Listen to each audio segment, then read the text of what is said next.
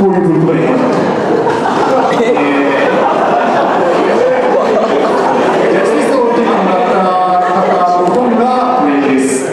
簡単に言えば。で、3、4点、5点、まあ、そのぐらいの人も、まあ、パネルにはあれなんですけど、っていう感じですね。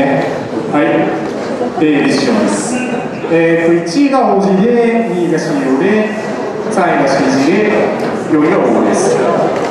で、まあ、ちょっと、まあ、真面目に言うと、まあ、OG は、まあ、こう、なぜ子供たちっていうのが、こう、食料を得られたりとか、社会で評価されやすくなるということがいいんだっていうのを、まあ、証明できる。それが結構他のチームに比べて、こう、きちんと証明できるということになります。で、まあ、それに比べて他の3チームっていうのが、まあ、ちょっとこう、大人がっていうのがあって、まずじゃあ OG の CG をちょっと見てみると、まず CG から出てきたら、多分これすごい、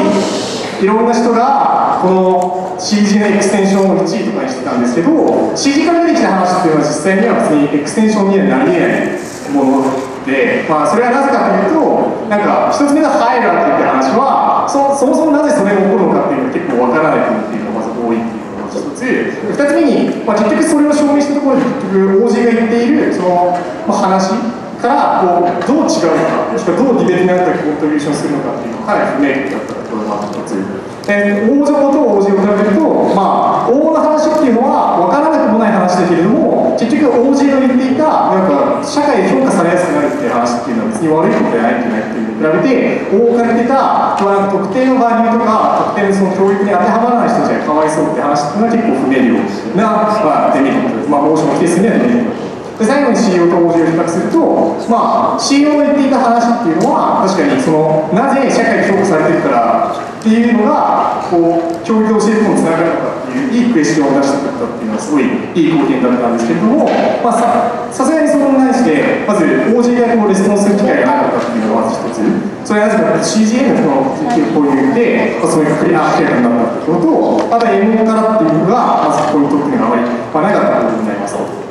で、まあ、まあ、ざこざこに言うとそんな感じで、CD と CO の差っていうのはまあそこにあって、まあ、CO っていくそのポイントっていうのが、その CG から出てきてた、要はなんか、その、なんか、ハイラーキーっていうのを、例えば壊すみたいな話を、なぜやらなくちゃいけないのかっていうのに対して、まあ、一応、こうレスポンスになっていくっていうところがあって、まあ、CG の言っていたこの点よりも、その CO が出してくれるそのクエスチョンの方が、まあ、ディベートの中に貢献していたと。で、最後に CG と、あまあ、CG のしてくれていたそのレスポンスっていうか、まあ、はまあ、話として、まあ、そもそも、なんか、応募の言っていることが、があるのか、要はどのくらい根本心によって変わるのかっていうのは、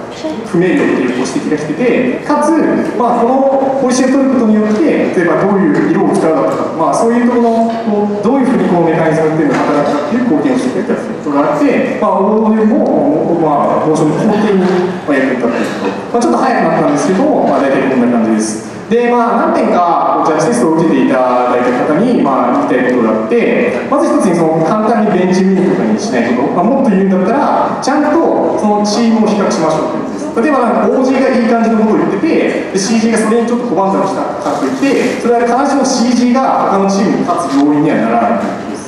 それはなんかちゃんと意識してほしいということと、2つ目にちゃんとそのアーギュメントを見ましょうというのは、今日今回結構騙されている人が多かったんですけれども、そのクロージング画面とか、あちょっとこれかっこいい表現出てきた、これもしかして1位いくんじゃねみたいな。で、それはちゃんとディベートの中でどう働いてるのかってちゃんと見なくちゃいけなくて、でかつ、そのアーギュメントが何を言ってるのかちゃんと精査しましょう。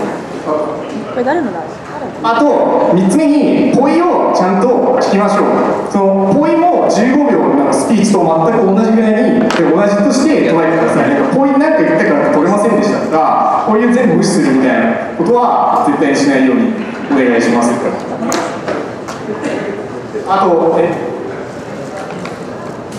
オポインプからあと新しい話が出てたんですけど別にそれがそのこう例えばオポインプがポイでなんか OG に対してしてた話だったらもう普通にそこからジャッジは類推することができるわけじゃないですか。そう。つまり何が言いたいかっていうとまあオポインプだからがちょっとなんかあ新しそうな話してるっていうのは必ずしもオポインプの話を取らないということにはつながらないんです。そのさっきも role fulfillment って言ったと思うんですけどなんか明らかに新しすぎたり誰もこうレスポンスできないだろうみたいな感じの話が大量に出てきてそのアンフェアなアドバンテージつつまりポポイップから誰も反論できない状態で行った貢献っていうのを重く取るっていうことはダメなわけですけれどもただそうならない範囲においてはこうウィップから出てきた新しい話っていうのはむしろな取ることが推奨されるわけですと。はい、でこの4つが、まあ、ジャッジテスト、まあ、全体的な目標ですかね、まあ、皆さん頑張ってください。はい、お疲れ様です。